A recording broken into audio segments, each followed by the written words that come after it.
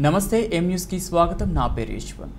పశ్చిమ గోదావరి జిల్లా జంగారెడ్డిగూడెం పట్నం రాజీవ్ నగర్ నందు విద్యుత్ షాక్తో చుక్కా సౌమ్య మృతి చెందింది. బంధువులు తెలిపిన వివరాల ప్రకారం స్థానిక రాజీవ్ నగర్లో నివాసం ఉంటున్న చుక్కా రమణ కుమార్తె సౌమ్య భవనంపై ఆడుకోవడానికి పైకి వెళ్ళగా అక్కడ ఉన్న ఐరన్ కరెంట్ పైప్కి విద్యుత్ ప్రవహించడంతో బాలిక ఆడుకుంటూ ఐరన్ పోల్ని పట్టుకోవడంతో విద్యుత్ ప్రవహించి బాలిక సంఘటన స్థలంలో మృతి చెందింది. ఆడుకోవడానికి పైకి వెళ్ళిన కుమార్తె ఇంకా క్రిందికు రాకపోవడంతో తండ్రి రమణ భవనంపైకి వెళ్ళి చూడగా తన కుమార్తె విగత జీవిగా మారడంతో జంగారెడ్డిగూడెం ఏరియా ఆసుపత్రికి తరలించగా అప్పటికే బాలిక మృతి చెందింది అని వైద్యులు ధృవీకరించారు. బాలికని పోస్ట్మార్టం నిమిత్తం ఏరియా ఆసుపత్రికి తరలించారు.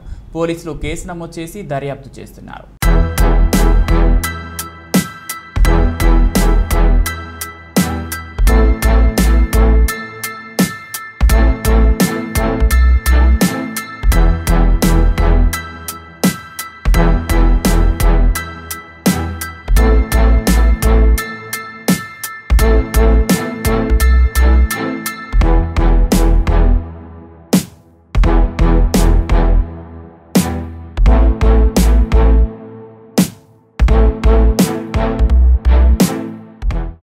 మరిన్ని తాజా వార్తా విశేషాల కోసం ఎం న్యూస్ని సబ్స్క్రైబ్ చేయండి. మీ మిత్రులకు షేర్ చేయండి.